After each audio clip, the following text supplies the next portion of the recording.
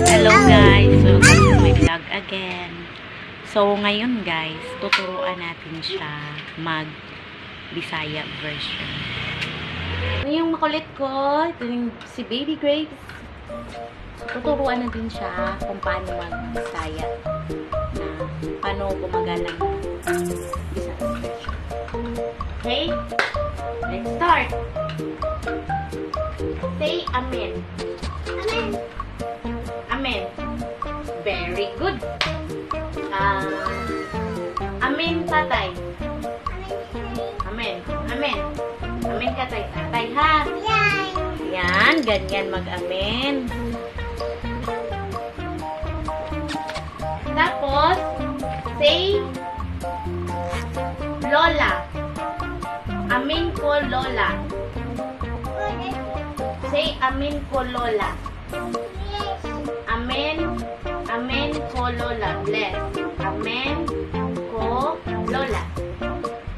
Say amen. Amen ko Bugay. Lola. Say bugay. Say bugay. Say bugay. Hindi, dirty hands. Say bugay. Say bugay. Dirty, huwag mo yan yan. Gihigugma. Ko ikaw. Gihigugma. Gihigugma. Ko ikaw. Baby. Ayusin mo. Gihigugma. Ko ikaw. Ayusin mo. Hmm. Sabihin mo, unsaman. Unsaon man. Sabihin mo, unsaon man. Patakit ka na eh. Sabihin mo, unsaon man. Dirty yan. Sabihin mo, unsaon man. Unsaon man. Dirty kamot. Hugaw. Say hugaw. Hugaw. Kamot. Hugaw ang kamot. Dirty ang hand. Eh? Tawon mo. Hiyak ki. Sabihin mo, hugaw. Hugaw ang kamot. Sige na, sige na. Huy. Hugaw.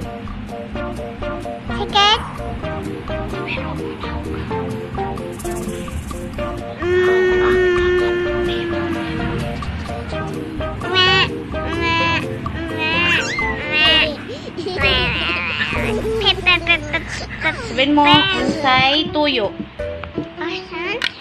Unsay tuyo. Sabi? Unsay tuyo. Nimo. Nimo. Unsay tuyo nimo. In Tagalog is ano po yun? Ayan. Kung kailangan mo, ganyan. Ano sa tag ano sa Bisaya ang kamay? Ano sa Bisaya ang kamay? Kamay is say kamot. Kamot. Kabi, kabi. Say kamot. Say kamot. Oh, say kamot. Kamot. Kamot. Hands. And then and then say say unsay. Pangalan nimo. Unsay pangalan nimo? Oh, unsay pangalan nimo?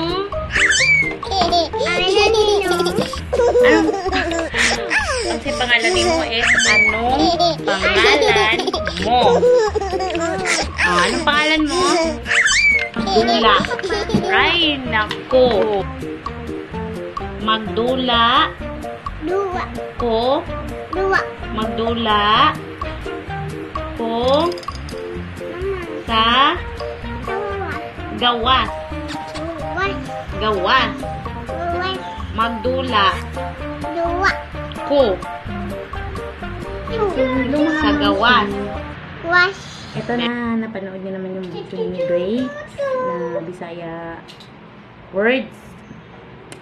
Thank you sa panonood nyo at sa pag-support nyo sa channel ko.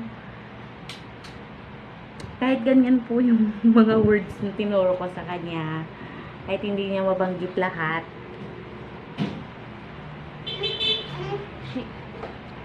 kinaya naman nga yung salita na Bisaya version niya. So, ayun po mga mamsi, kung may gusto po kayong i